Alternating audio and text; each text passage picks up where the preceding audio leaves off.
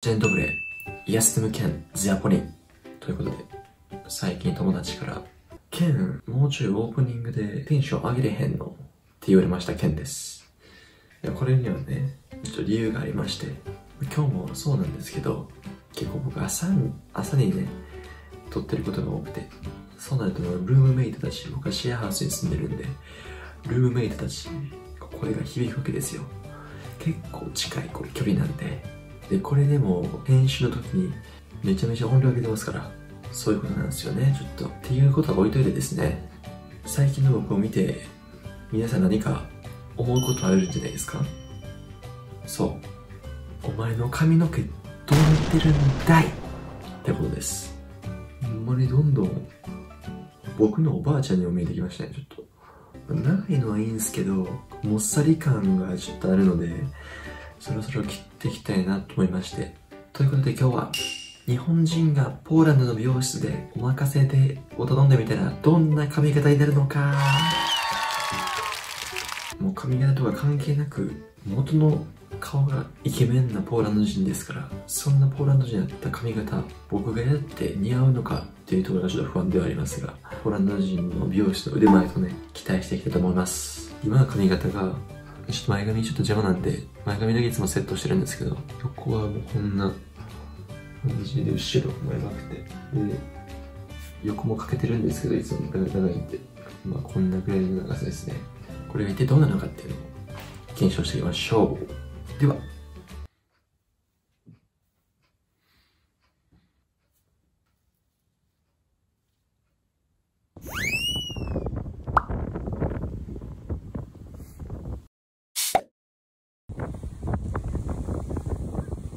まあ、中に入るとこんな感じでしたね。まあ、結論、店員さんとかいかつくて、周りにもお客さんいっぱいいたんで動画は撮れませんでした。で、まあ、まず入るとソファーに座り、まあ、呼ばれまして、まあ、ポーランドはね、店員さんと握手を交わしてからカットスタートってことになります。で、普通にま座って、髪の毛をなんかこう霧吹きでめっちゃ大量にバーって水をかけられて切るっていうスタイルでした。で、まあ、店員さんが英語を話せなかったんで、めちゃくちゃ気まずい時間をもうずっと過ごしてました。ポーランドの男性はヒゲを生やすダンディーなスタイルが主流なんで、みんなヒゲを剃ってましたね。メニューにもカットプラスヒゲ剃りみたいなのがほとんどセットでついてたんで、はい、すごく気持ちよさそうでした。で、みんながこういうネスタイル、足バーン広げて、なんか結構自由、自由な感じの店内でしたね。ポーランドの美容室は、トゥー入れることもできるのかなだからもうみんな、みんなゴリゴリのタトゥーが入ってました。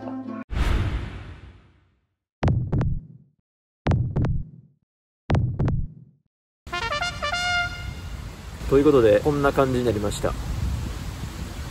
えー、っとほとんど何も変わっておりません。いやちょっとねあれなんですよ。オーダーするときにちょっとやっぱここまでね髪の毛伸ばしたんでちょっと切るのはねなんかためらってしまって長さは変えないでおすすめの髪型にしてくださいって言ったんですけどやっぱりポーランド人の男性はみんなこう短くたてがみみたいなミニリーゼントみたいな感じだったんでオーダーが難しすぎたんでしょうね。横だけ沿って終わりになりました。で見てください。このもみあげがもうほぼなくなりました。僕ここまでやったのにこんな感じになりましたね。でまあポーランドの美容室の感想なんですけど思った以上に丁寧でしたね。もみあげにかけた時間45分ぐらい。両方。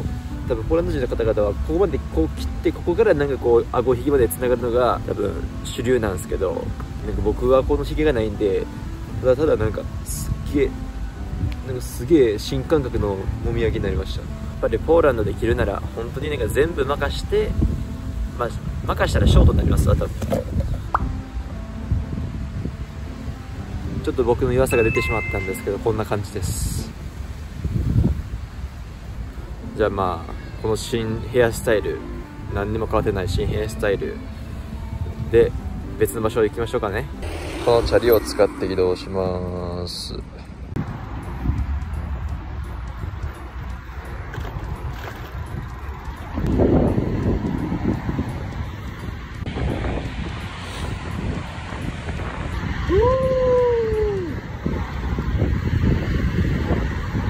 次に向かったのはどこかと言いますと、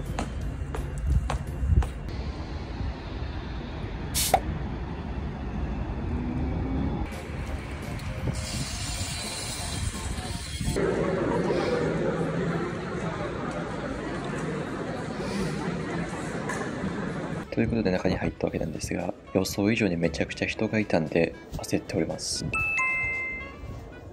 学食を食べようと思って探してるんですが、多分なかったですね。カフェくらいしかなかったです。なんか地下室に行きました。結構ここ学食かなと思って、堂々とドア開けて入ったらちゃうくて、めちゃめちゃ学生たち見られて恥ずかしかったです。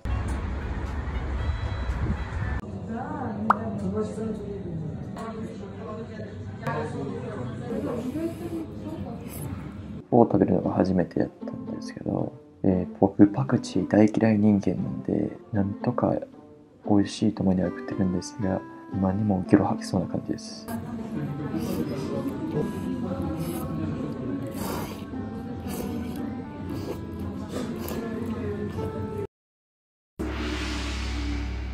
なんとかうまいうまいと思いながらスープもするがえげつい風味が鼻にポン。後味はねいいんですけどね。瞬間の匂いがえげついです。もう体中に響き渡るというか。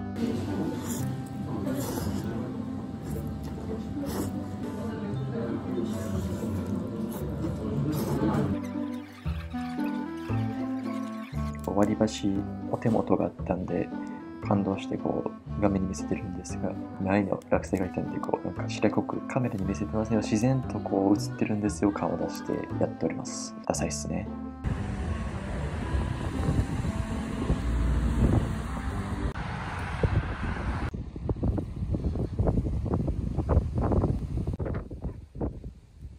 ここに行きたいのに。わしはどこを歩いてるんや今。なんかエントランスすぐ横にあったのに左一周したし。ああここか。なんか知らんけどカバンから必要なものだけを出してこの袋に入れるっていうスタイルでした。なんかセキュリティ対策なんですかね。わかんないですけど。今こいつは何をやってるのかというと体を映すと思いきや少し避けて中の風景をちらほく見せてるただの陰キャです。全然見てへんし。半分お前やん。ほんで逆サイドもバレないように携帯携帯を使ってなんか調べてるんです顔を出しながら。こう右側の学生がちょっと怖かったですね。最後は、えーこの動画の動画編集をして、まあ、2時間くらいしましたかね。で帰りましたと。はい、帰ってきました。ということで、昨日図書館行ってから、まあ、チャリに乗って帰ったんですけど、結構距離あって、しかも雨降ってたんですよね。40分くらいもう風と雨に立ち向かいながらこう、バーってこいてたら、めちゃめちゃ疲れて昨日帰ってから寝落ちしてしまったんで、今日、次の日の朝にエンディングを撮っています。で、まあ今から出かけるんで、ちょっとセットしてみたんですけど、こうセットしたらまあ、なかなかまあいい感じですね。結構。こうもっさり感はなくなって、こう丸みを帯びた、いいシシルエットになってるんじゃないでしょうか。もみあげが結構、嬉しいですね。僕、もみあげ長すぎて、ちょっとコンプレックスだったんですけど。ということで、検証結果。ポーランドの美容師普通に腕ある。プラス、美容師代結構安い、でした。ちなみに、僕が1カットだけで2400円。で、他のとこいろいろ探してたんですけど、まあ、それでも3000円くらいって感じですね、平均。日本やったら4000、5000円が普通になってくるんじゃないですか。だから丁寧さにおいては日本よりもいいかもしれないですね。日本の美容師ってよくブチっていくときあるじゃないですか。結構こう慣れすぎてて、髪のブチいけってなるときあるんですけど、ポーランドの方はもうそういうのなしに、ちょこ丁寧に丁寧にって感じだったですね。ということで今回、日本人がポーランドで美容師に行く一日でした。はい、ということで今回もこの動画いいなと思った人は高評価とチャンネル登録でね。Dziękuję bardzo. Miłego dnia. バイバイ。Yeah 俺ら飛んでは跳ねて遊んでるクル。ー音や明かりで満たしてる。アイレス角で隠れてたあの子もクール。口にする。この毎日が好きなの。